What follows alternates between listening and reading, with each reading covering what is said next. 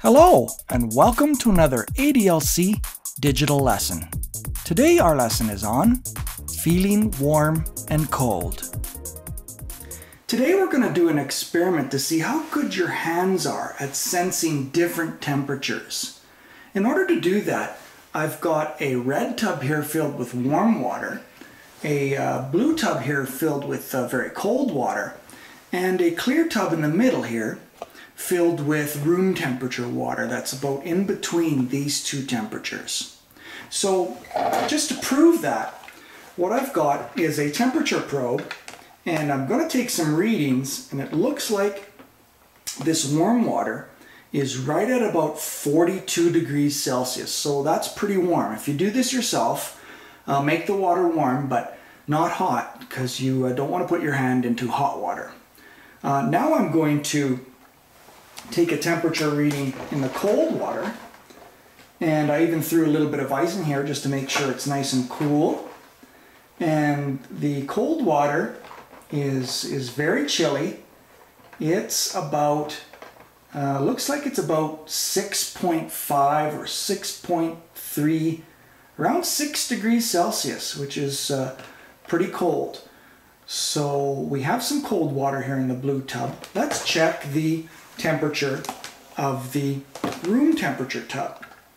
And that temperature is about, uh, looks like it's about 23, 24 degrees. That's a little bit warm for room temperature, but it's perfect for our experiment because this temperature is right in between the warm water and the, uh, the cold water. So it looks like it's settling at about 25.6 degrees.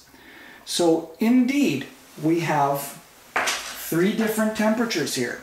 We have warm water, we have cold water, and we have a temperature that's right in the middle, middle about room temperature. So what we're going to do is stick our hands into the warm and cold water and we're going to hold them there for two minutes. After the two minutes, we're going to stick them into the middle tub and see how they feel. So let's come back in two minutes and see how that works.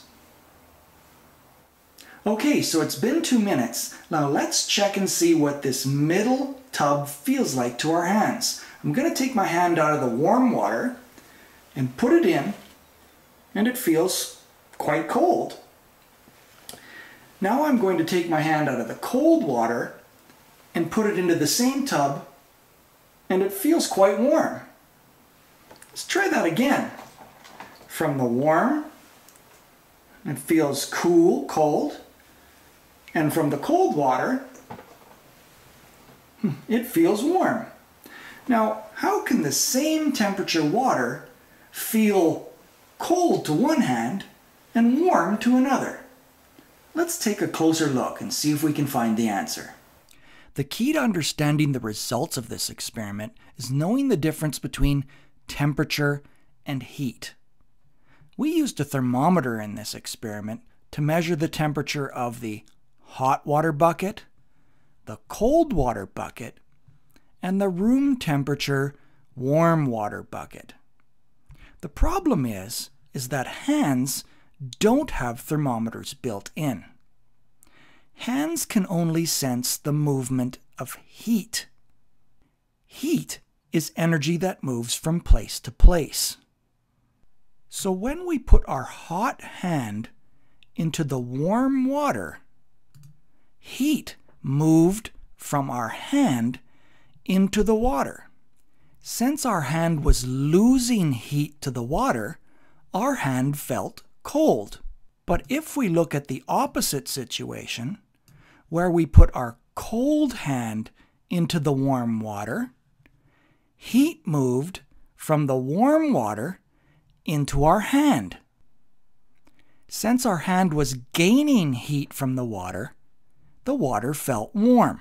So the important thing to realize is that our hands do not sense temperature, they sense the movement of heat.